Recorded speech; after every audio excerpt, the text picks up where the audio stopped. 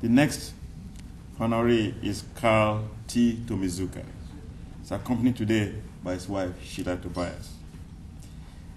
The citation is for outstanding original research contributions to our understanding of atomic motion in solids and the effects of high pressure on the properties of matter, and for leadership in promoting science careers for women and members of underrepresented groups.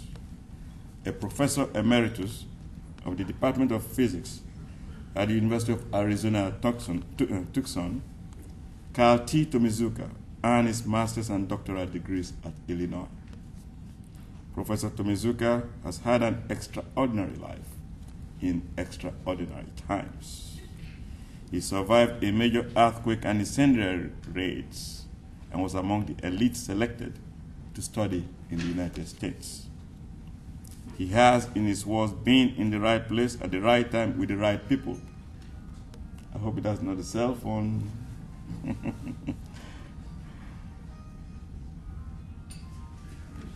okay, I'm not sure whether to dance now.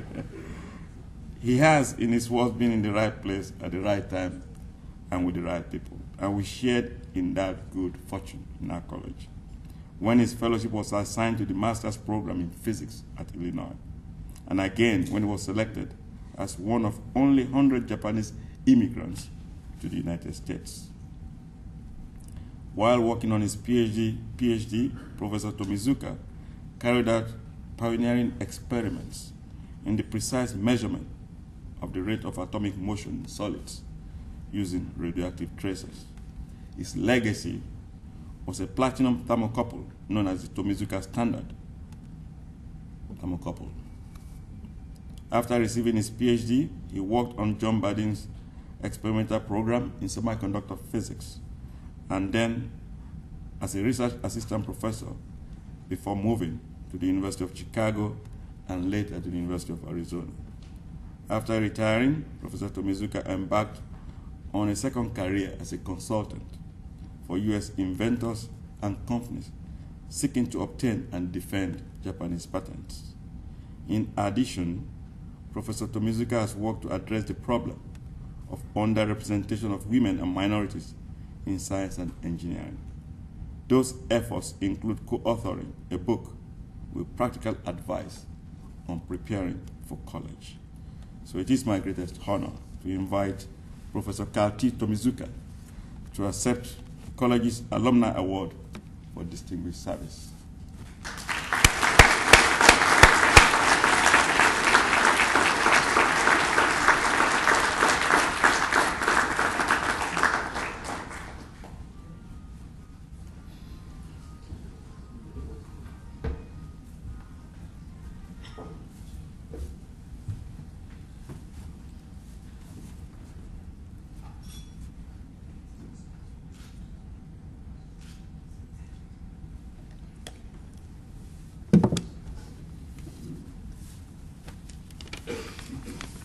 Thank you. Still have an hour? As a professor quantum. It helps to have some members of the selection committee know me. Uh, Actually, not I, but the Illinois Physics Department and its faculty deserve this award. It's all on account of them. Con- Considering what they have given me during my years and thereafter, I should have accomplished more, but I ran out of time. Uh, When I arrived in Urbana in September 1950, 60 years ago, uh, I was most warmly welcomed. It was uh, only five years after the end of the most brutal, savage war, but I was still well, warmly welcomed. I was made to feel there was uh, no national boundary when it came to physics. Also, we graduate students, all of us, were made, made to feel that we were equal citizens of physics, as ignorant and inexperienced as we all were. Professor Lazarus, for instance, uh, insisted that he and the rest of us, all students, be on a first name basis. This was totally unthinkable from where I come, uh, University of Tokyo. Later, I had no luck enforcing this to my graduate students at Arizona, even as a department head. Dr. T was the best I could get. this was, uh, and I know it still is, a very unique and remarkable department. Um, not only it's uni- unique that it belongs to the College of Engineering, but in research and in teaching as well. Um, department not only taught me physics, but most importantly, it taught me how to think like a physicist. And they also tried to convince me to be a 24 hour physicist. I was at a faculty party at, after I got my degree, and um, the head of the department, Professor Loomis, whose name is on the building around the corner here, from here, uh, approached me and said, Is there another Carl Tomizuka in Champaign, Urbana? I was startled. I said, I didn't think so. Why? He said, There's somebody in Champaign, Urbana, purport to be Carl Tomizuka, who has written a book review, literary book review, on Daily Illini. Any dedicated physicist, physicist certainly wouldn't have time to do so. I got the message, and this was my, my last endeavor uh, to be a writer until I married one in later years. Uh, I'm proud that this physics department in, the, in condensed matter physics, which used to be known as solid state physics, is consistently ranked number one in the nation year after year. That probably means best in the world. It happens to be my specializa- specialization. It is by far the most populous field, subfield of physics. It's therefore in my best own interest, self-interest, to do everything possible to have this department maintain its excellence, leadership in this field. But uh, so it also it needs a more enormous amount of resources, financial and otherwise. Financial part I can do very little, but other other aspect possibly I can help.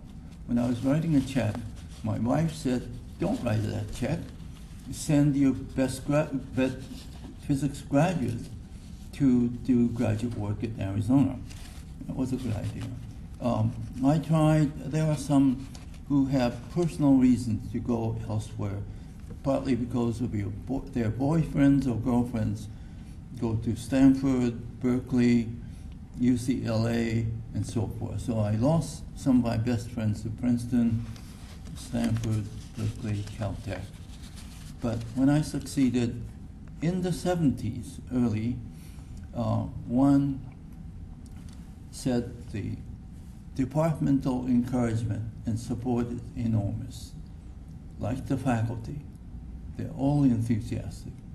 But her peers, her peers were resentful that they were, she was taking their job away.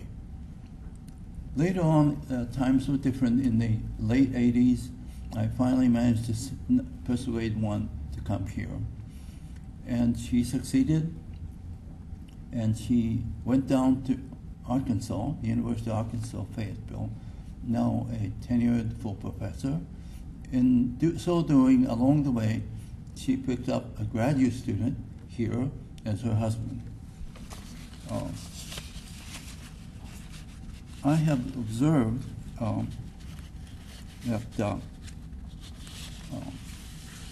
um, the department is unique, most unique in anywhere. Uh, I told yesterday, people who are getting their PhD in physics, that they'll really miss this place. It'll be a shock to go out. Yeah, there's no place anywhere. That must be why we're coming back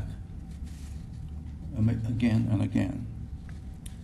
Since for some people, uh, I don't really look like a native to Tucsonian. Some ask me, where are you from? And I say uh, to them that uh, I'm from Urbana, Illinois. Um, my reflex, reflex is justified in that this is where I grew up as a physicist. And I thank you for inviting me back home. Thank you.